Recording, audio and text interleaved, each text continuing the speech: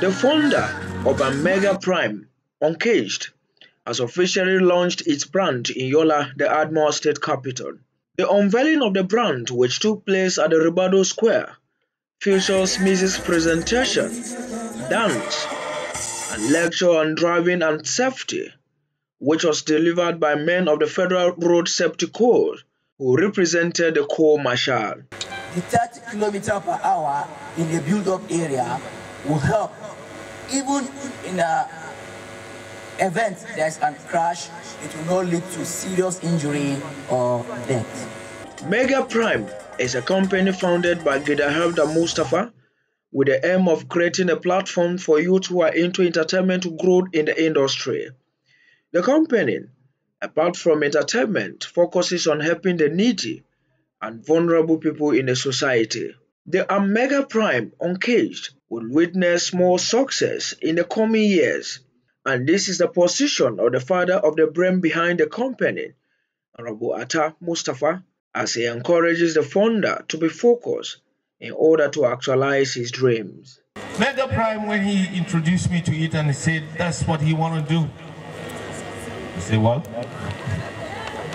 if that's exactly what he want to do,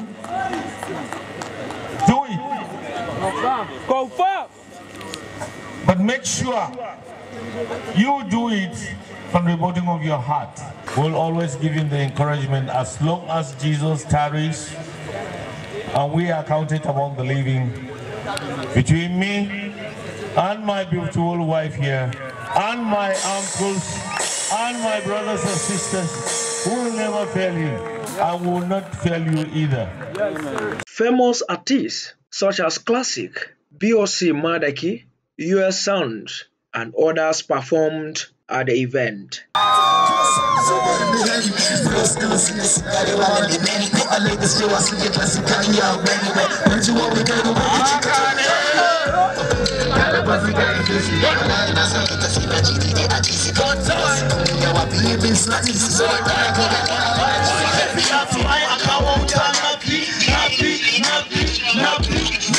Wannan shi ne dalilin da ya sa nake da zafi zafi zafi zafi zafi in sun ke biya to ai a kawo wuta na fi na fi na fi zafi listen.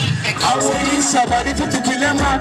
Give me love, make no go give another man. Say this your body fit to kill a man. Give me love, make no go give another man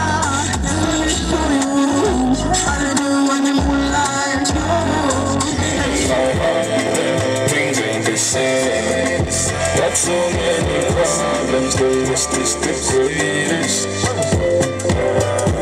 Now that the unveiling has been done officially, the founder and his crew must look outside the box in order to yield success in the coming years. TV Camaa Television News.